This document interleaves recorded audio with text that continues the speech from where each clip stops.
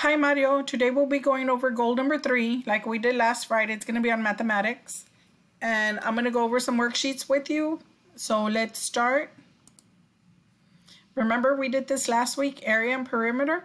We're going to do the same thing. Remember the perimeter, you add all four sides.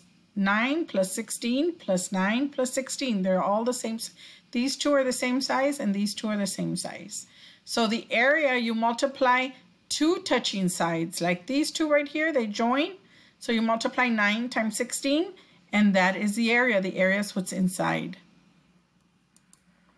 Area and perimeter. Perimeter, the distance around the outside of the shape, like right here. When it's a perfect uh, square or rectangle, these two sides are always the same, and these two sides are always the same. Now, if you have odd shapes like this one, they usually give you the the the size, the, the numbers, the measurements. So um, here are the two examples. Now an area is a number of squares, uh, square units inside the shape. So it's what's inside here. So you always multiply the two touching sides, these two, four and three. Now if you have more sides like this one, you're gonna multiply these two first, the, the six and the three, and then this one is three by three. So then you'll have 9 times 18, 9 plus 18, and your square units is 27. So here we go.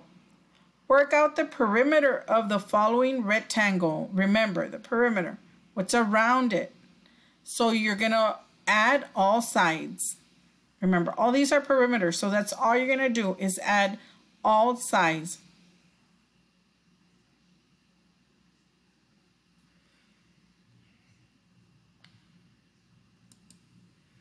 Now, goal number four.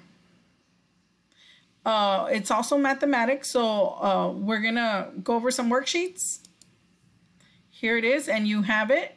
So go ahead and look for it and work out these problems. Remember, Mario, when you finish, take a picture of it and send it to me. Uh, make sure the picture is clear so I could be able to download it to your files on Teams.